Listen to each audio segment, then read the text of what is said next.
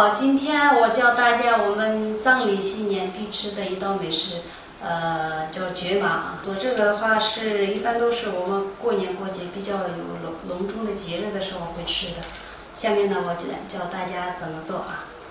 画面中打着招呼的藏族姑娘叫做圣宁卓玛，她正在四川成都的家中录制蕨麻点心的制作过程。圣宁卓玛是四川省阿坝州壤塘县人。二零一九年学习过烹饪和西点制作的盛宁卓玛开始在网上分享藏式美食制作。如今，她已在短视频平台上分享超过一百道各类美食，吸粉近四十万。啊，我叫盛宁卓玛，呃，我是一名美食博主。呃，我现在主要的工作是就是拍教程，还有就是短视频。呃，最近我的工作呢，就是拍短短视频，就是跟藏历新年有关的一些美食，比如姑醋啊、卡塞呀、蕨麻呀。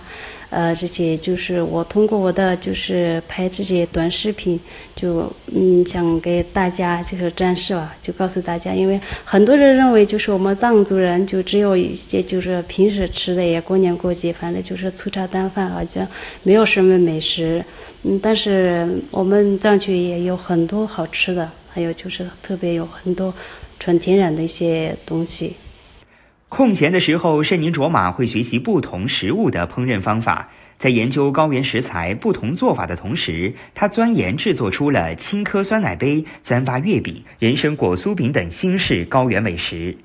因为，呃，我们传统的一些，嗯，比如糌粑呀那种传统的吃法的话，现在很多年轻人，还有就是包括小孩子都不太愿意去吃，所以我觉得这些应该去改变一下，包括它的形状也好，还有就是味道，这样的话就更更多的人就会接受。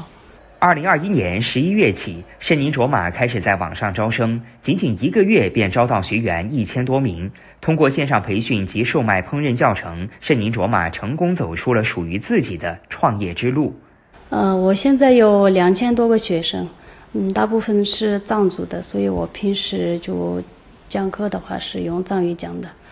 找我学习的人，嗯，部分是那个学生，他们就想多。呃，学一些技技能嘛，就以后的话好找工作。嗯，大部分都是呃家庭妇女，她们就想改善一下以前的一些单一的饮食习惯嘛，大家就想呃吃的更健康，就更丰富嘛。现在生活条件也好了。